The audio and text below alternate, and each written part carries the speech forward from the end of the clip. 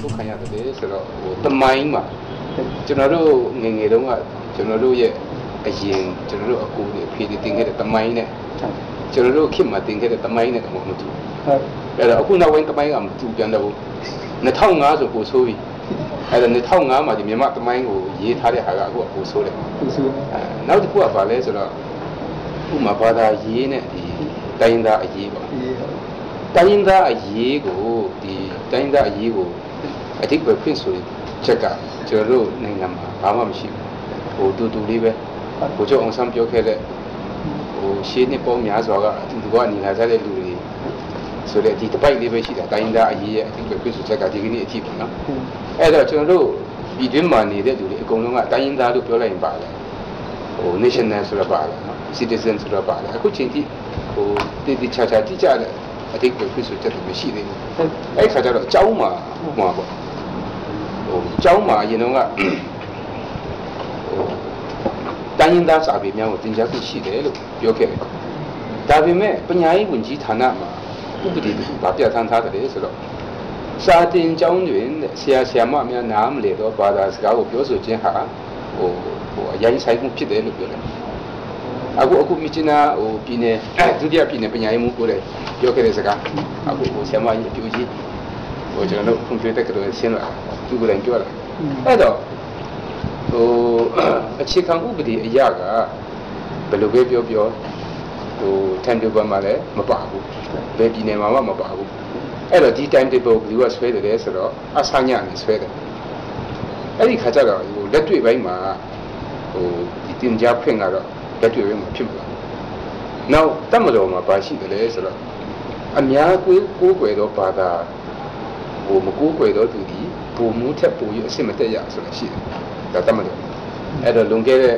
ကျွန်တော်တို့ချင်းရိုင်းမှာပထမအချိန်တွေ့တဲ့အခါမှာပဲဟိုဝန်ကြီးဘောင်မင်းကပြောတယ်ဟာအခုတော့ဒီဥပဒေဒီမတုံးနဲ့လို့ သမရအမိန့်ပေးတယ်အဲ့တော့ကျွန်တော်ပြောတာကဝန်ကြီးအမိန့်ပေးရုံနဲ့မရဘူးမပုံတင်ကနေစရမှာလို့ကျွန်တော်တို့ပြောတာတကယ်ပဲခုနပြောသလိုပေါ့ဟိုတမျိုးချင်းဘာသာတစ်ခုချင်းကိုပြောတာမဟုတ်ပြင်မဲ့ခြုံပြီးတော့အဲ့လိုဒီတတ်မှတ်ထားတဲ့အခါမှာတော့ဟိုအလိုလိုနဲ့တွေးတွေးသွားတဲ့သဘောတွေအများကြီးရှိတယ်နောက်တစ်ခုကဘာလဲဆိုတော့ကျွန်တော်တို့ဟိုအယောင်ဆိုးခံရတဲ့အထက်မှာမီဒီယာပါတာပေါ့နော်ဟိုနှစ်ပေါင်း90လောက် ဟိုပြည်တွင်းမှာရှိတဲ့သတင်းဌာနတွေကဒီအစိုးရရဲ့ဟိုဟိုဟိုအကြိုက်လိုက်ပြီးတော့ရေးတဲ့အခါမှာကျတော့သတင်းတွေအမှားဖြစ်တယ်နောက်တစ်ခုကတော့သူတို့ကိုယ်တိုင်အလိန်ခံရတယ်ဒီနိုင်ငံတော်တာဝန်ယူနေတဲ့ကောင်းဆောင်တွေကိုလည်းအလိန်ခံရတယ်အခုဒီအခုသူချုပ်ဘုရုပ်ဆိုပင်နဲ့အခုဟိုတောင်ပိုင်းတိုင်းလမ်းတိုင်းဒီကိုနိုင်ကတော့စပန်လောင်းပိုင်းပိုင်းအနောက်ပိုင်းတိုင်းကနေအဲ့အချိန်မှာသူက ဆိုင်ဖာဂျီဝမ်အဲ့တော့ကျွန်တော်တို့နှစ်ယောက်ကိုကျွန်တော်ဟိုထောက်ပြတာမြချီနာမှာအဲအမ်နိခါချာနေဆိုတာလာစင်ထုတ်အဲ့တော့ဒီချာနေမှာပါပါလာတယ်ဆိုတော့ပန်းနန်းတင်ဒီတော့ကနေတော့ရတယ်ပန်းနန်းတင်မှာကာလမ်ပေါက်ပြီလို့ဒီချာနေတဲ့မှာရေးထားတယ်အဲ့တော့ဟိုဘီကင်းချစ်ကြီးရဲ့ဆိုင်ကယ်ကြီးရဲ့အဲ့မှာတက်ထားပြီးတော့တပ်ပုံရိုက်ပြီးတော့ပါလာအဲ့တော့တကယ်တော့ဒီကားကိုကြန့်ခိုင်ရင်တွန်းပြီးမှသွားတာ ဟိုဆိုင်ကယ်တော့သူတို့ကထားပြီးမှဟိုမှာသွားထားတာဒီဆိုင်ကယ်နဲ့ကားမိုးတွေရောက်တော့ဒီတိုင်းထားခဲ့တာပိုင်ရှင်တွေကစိတ်ညစ်နေတာအဲ့တော့ကျွန်တော်ပြောတာကဥတာဝတီဓာတ်မှာဖြစ်တဲ့ကိစ္စကတိုင်းမှုနဲ့ဒီထောက်လိုင်းကြီးဝါကတော့မသိဘူးဆိုရင်နိုင်ငံတော်ကသိဖို့ဆိုတာအဝေးဖြစ်သွားပြီအဲ့တော့ခုနပြောလို့ပေါ့ဒီလိုဟိုကျွန်တော်တို့ကနှစ်ပေါင်း90လောက်ဒီလိုဖြတ်တန်းလာခဲ့တဲ့အခါမှာကျတော့တော်တော်လေးကိုဟိုအယူဆချင်းမတူလာလို့ဘာလို့ဖြစ်လာလဲအဲ့တော့ခုန ဆရာတော်ပြောသလိုပဲဒီမှာပညာရေးစနစ်ပေါ့ကျွန်တော်တို့ငယ်ငယ်တုန်းကသင်ခဲ့တဲ့ပညာရေးစနစ်နောက်ကျွန်တော်တို့အရင်သင်ခဲ့တဲ့ပညာရေးစနစ်ကျွန်တော်ကြည့်တမိုင်းအကြောင်းကိုကျွန်တော်ပြန်ဖတ်ကြည့်တာကျွန်တော်တို့ regional college တက်ခဲ့တဲ့အခါမှာအနည်း20စီမံကိန်းကအကြောင်းခန်းထဲမှာသင်လို့မရတော့ဘူးသင်နေရင်းနဲ့ပဲဒီဟာကိုရလိုက်ရတယ်အဲ့တော့အခုကဒီပညာရေးစနစ်ကိုအားလုံးပြောနေကြတဲ့အခါမှာကျွန်တော်ပညာရေးစနစ်ကြီးတစ်ခုလုံးကို ဘယ်လိုလုပ်ကြမလဲဆိုတော့ဘာမှအခုဒီမှာပြောနေတယ်အဲ့ဒါကျွန်တော်အမြင်ကပါလဲဆိုရင်ပညာရေးကတင်ညွညွန်းတန်းကတော့ကောင်းတယ်တိုးတော်လည်းပဲဒီကျွန်တော်ကဘယ်လိုဖြစ်လဲဆို apply ဖြစ်ဖို့အတွက်ကျွန်တော်မတင်ခဲ့ရဘူးနောက်တစ်ခုကဟိုဟိုနိုင်ငံခြားထွက်ပြီးမှပညာသင်တဲ့အခါမှာကျွန်တော်ကဘယ်ဘက်မှာစာမလိုက်နိုင်ဘူးလို့ပြောတဲ့အခါမှာဘာပဲတွေ့ရတယ်လဲဆိုတော့ knowledge ဘိုင်းမှာတွေ့ရတယ်အဲဒီမူလတန်းကနေသူများကအပြင်စာတွေအများကြီးဖတ်ရတယ် ကျွန်တော်ဒီဒီမှာရှိတဲ့အကြောင်းတွေကအပြင်စာဖတ်ဆရာမလို့ပဲနဲ့ဒီအကြောင်းမှာတင်တဲ့ဒီညွညွန်းတန်းကြည်လို့ရှရင်ပြီးသွားတာပဲအဲ့ဒီခါကျတော့ကျွန်တော်ကဟိုဘက်ကိုသွားတဲ့အခါမှာဒီတညွညွန်းတန်းတစ်ခုတည်းကိုတင်တာတော့မှကျန်တဲ့ဘုဒ္ဓတာဘိုင်းမှာကျွန်တော်လိုက်နိုင်လို့ဆိုတော့ဘယ်လိုမှမဖြစ်နိုင်ဘူးအဲ့ဒီခါကျတော့ကျွန်တော်ဟိုကိုရောက်ရင်မမြည်ဘူးလို့ပြောတာတော့အဲ့ဒါဟိုအင်္ဂလိပ်မတတ်တယ်လို့ပါလို့ထားလိုက်တော့အဲ့တော့ဒီကနေ့ကျွန်တော်တို့ကြော်ဖြတ်လာရတဲ့ဘဝလေးတစ်ခုလုံးကို ပြန်ကြည့်တဲ့အခါမှာခုနပြောလို့ပဲတမိုင်းကြောင်းနောက်ပြီးတော့ခုနဆရာတော်ပြောသလိုပဲလွန်ခဲ့တဲ့အချိန်မှာဟိုဘုချုပ်အောင်ဆန်းလို့ပြောလိုက်ရင်ကျွန်တော်ငယ်ငယ်တုန်းက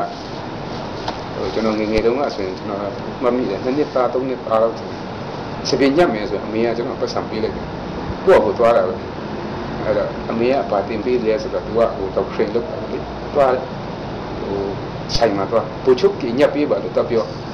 ကိုယ့်ကိုသွားလာအဲ့တော့ဒီလိုအရင်တော့ကဒီကျွန်တော်ရဲ့စိတ်ထဲမှာ model တခုရှိတာပေါ့နော်အရင်တော့ကတော့နောက်ပိုင်းမှာမရှိတော့ဖတ်ဖြစ်အဲအခုကဒီအချိန်မှာကျွန်တော်ကတစ်ခါပြန်ပြီးကျွန်တော်ကဟိုငင်းချမ်းရေးအတန်ထွက်လာအခုကငင်းချမ်းရေးလို့ပြောတဲ့အခါမှာကျွန်တော်တို့ဟို TIO ကနေခံယူတဲ့ငင်းချမ်းရေးနိုင်ငံတော်ကနေချမှတ်ထားတဲ့ငင်းချမ်းရေးတစ်ခုကနည်းနည်းမတူဘူးဖြစ်နေတယ် ဒါကိုညှိနေတော့အခုကျွန်တော်ကျွန်တော်ပြောတော့ငင်းချမ်းရေးဆိုတာပါလေဟိုတိုက်ပွဲမရှိလို့ရှိရင်ငင်းချမ်းရေးလို့ခေါ်တာဒီနေ့ကပဲဒုတိယသမ္မတမင်းကုမှာအဖွဲ့ဒီအားလုံးကိုငင်းချမ်းရေးလမ်းကြောင်းကိုတက်လာနိုင်အောင်ကြိုးစားရမယ်လို့ပြောတယ်အဲ့တော့ငင်းချမ်းရေးလမ်းကြောင်းဆိုတာပါတယ်အဲ့တော့ဒီဒီသဘောထားတွေကျွန်တော်တို့အများကြီးညှိအောင်မှာပေါ့လေတကယ်တော့ကျွန်တော်ကချင်လူမျိုးတွေစိတ်ထဲမှာပါရှိတယ်ဆိုတော့ပြည်တော်စုမြန်မာနိုင်ငံလို့ ဖြစ်ပေါ်လာအောင်ကြိုးစားတဲ့အထက်မှာကချင်လူမျိုးနဲ့ထိဆုံးမပါဒါကြောင့်မလို့အရင်ကျွန်တော်ဟိုဒူဝါဆော်လန်ကဥနေဝင်းကိုစာရေးတဲ့အခါမှာအဲ့ချိန်မှာကချင်ပြည်နယ်အစိုးရကဒီလုတ်ပံခွင့်အများကြီးရှိတယ်ကချင်ပြည်နယ်အစိုးရရဲ့လုတ်ပံခွင့်ထဲမှာတချို့ဟာဟိုအစိုးရဟိုအတိပေးယုံတော့လုံးနိုင်တဲ့အခွင့်အရေးတွေတော်တော်များများတွေ့ရတယ်အခုကျွန်တော်ပြန်လေ့လာကြည့်တဲ့အခါမှာအဲ့တော့ဒူဝါဆော်လန်ဒီရေးတဲ့အခါမှာလည်းဒီကိစ္စပဲသူရေးတယ် အဲ့တော့ကျွန်တော်တို့ကချင်လူမျိုးတွေကကဘာမှာပြည်တော်စုမြန်မာနိုင်ငံလို့စတင်ပေါ်ပေါက်လာအောင်ကြိုးစားတဲ့အထက်မှာကျွန်တော်ကိုယ်တိုင်ပါဝင်ခဲ့တယ်အဲ့ဒီကတော့ဒီအခုလိုဗမာစာပြပြပြမရေးသေးဘူးပေါ့ငါကိုယ်တိုင်ပါဝင်ခဲ့တယ်လို့ကိုကျူးကြီးနေဝင်သူရေးခဲ့တယ်အဲ့တော့ဒီကနေ့ကျွန်တော်ကချင်လူမျိုးတွေအနေနဲ့က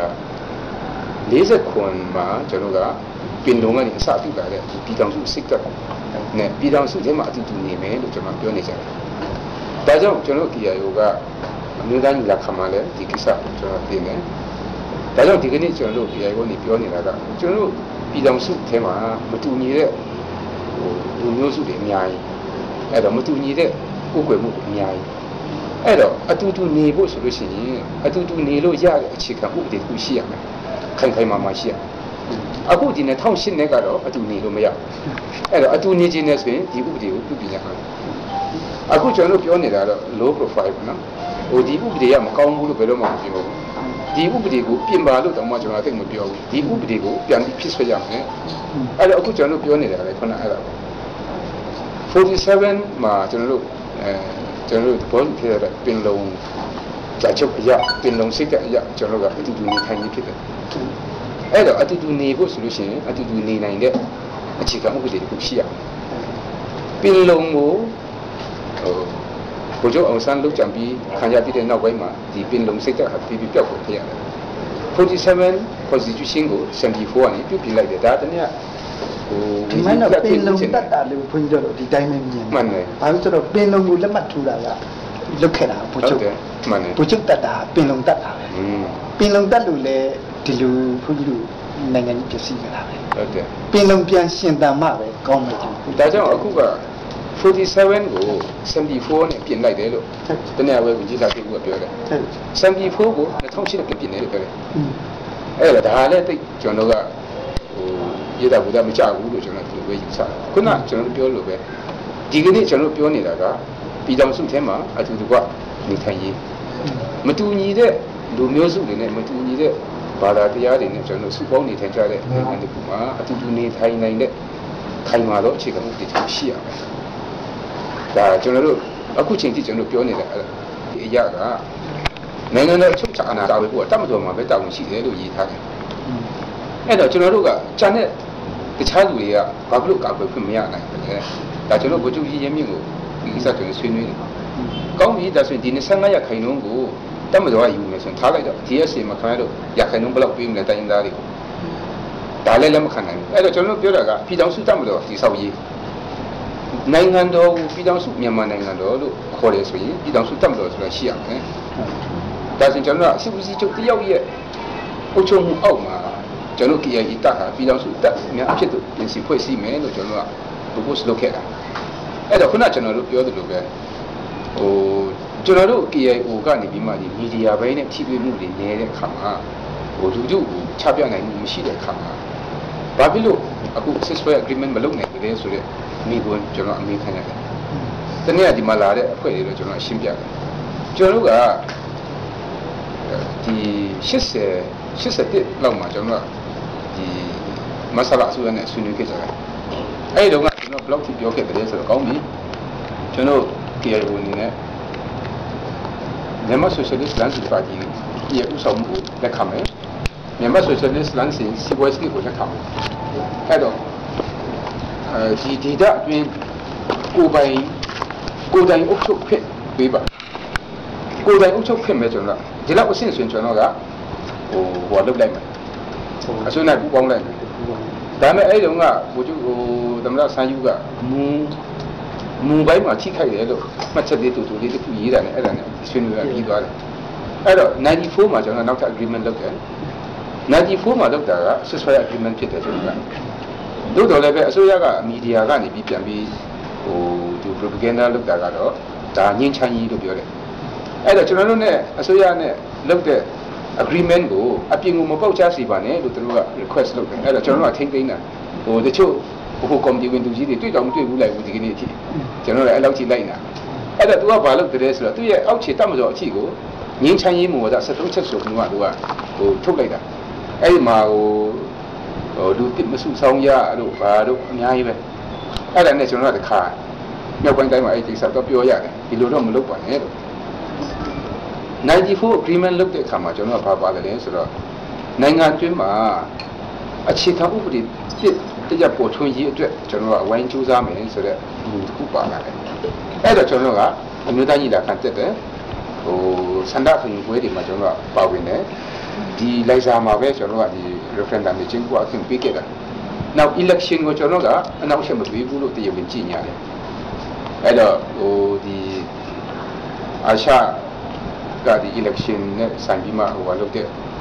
ဟို research လုပ်တဲ့အဖွဲ့ကဒီမှာလာတော့သူတို့နဲ့အလားပါတလာပါပြောကြတာပေါ့အဲ့ဒါသူတို့ကဟိုအမြင်ဘယ်လိုရှိမလဲပေါ့ဒီ election ကလို့ negative လား positive လားလို့ပြောတယ်ကျွန်တော်က positive ပဲလို့ဒါပေမဲ့ bracket ထဲမှာ HIV ကဲတော့ဆိုတာပါတယ်လို့ဒါဒီဖြစ်နေပြည့်စည်တဲ့မှာဒီနေ့တော့ချက်ကတော့အဲ့တော့ကျွန်တော်ပြောတော့ပြုပြင်ရမယ်မဖြစ်ပြင်လို့တော့မရဘူးဒါကြောင့်ကျွန်တော်တို့က2008ကိုမကောင်းဘူးလို့ကျွန်တော်ကဘယ်တော့မှ direct ကျွန်တော်ကမပြောတဘူးရကြီးမပြောမပြောဘူးဘာဖြစ်လို့ဒါပေမဲ့ပြုပြင်ဖို့လိုအပ်တယ်အခြေခံဥပဒေတစ်ခုဆိုတာတော့တိဆောက်ထားတို့တော်လည်းပဲဒါအရှိကိုတွားရမယ်ဒါကြောင့်အခုကျွန်တော်ပြောနေတာက94မှာကျွန်တော် ceasefire agreement လုပ်ပြီးတော့ ဟိုဆွေးနွေးပွဲလုပ်ရအောင်လို့ပြောတဲ့ခါမှာနောက်တက်လာတဲ့အစိုးရနဲ့လုပ်ပါလို့ကျွန်တော်ပြောတယ်အဲ့တော့2009ကျတော့ BJP proposal ဝင်လာတယ်ကျွန်တော်ပြောတာက BJP ကလည်းကျွန်တော်မလုပ်ဘူးကဲပြည်တော်စုတက်မလို့ဖွဲ့လိုက်ပြည်တော်စုတက်မလို့ဖွဲ့လို့ရှိရင်ကျွန်တော် KA တက်တယ်အကုန်လုံးကပြည်တော်စုတက်မလို့ထဲမှာပါဝင်မယ်အဲ့ဒါလည်းပြည်တော်စုတက်မလို့လည်းမဖွဲ့နိုင်ဘူးအဲအဲ့တော့အခုကျွန်တော်ကတိုက်ပွဲတွေပြန်ဖြစ်လာတဲ့ခါမှာကျွန်တော်က proposal တစ်ခုတင်ထားတယ်ပထမအချက်ကတော့ဒီတိုက်ပွဲတွေကိုလောလောဆယ်ဘယ်လိုဟိုလုပ်ကြမလဲဟို တိုက်ပွဲတွေမရှိအောင်ဘယ်လိုလုပ်မလဲဒီကိစ္စကကျွန်တော်တို့ကပြောတာကအဆင့်3ဆင့်နဲ့ကျွန်တော်တင်တယ်ပထမအဆင့်နံပါတ်5မှာကျွန်တော်ကအခုဒီညီညီကပ်ကပ်ဖြစ်နေတဲ့တက်တွေခွာထားရမယ်အဲ့တော့ဒီတက်တွေကိုဘယ်လိုခွာမလဲဆိုတော့အပိုင်းကိုဆွေးနွေးဖို့စူးစမ်းလိုက်တိုင်းအစည်းအဝေးကပြတ်သွားတယ်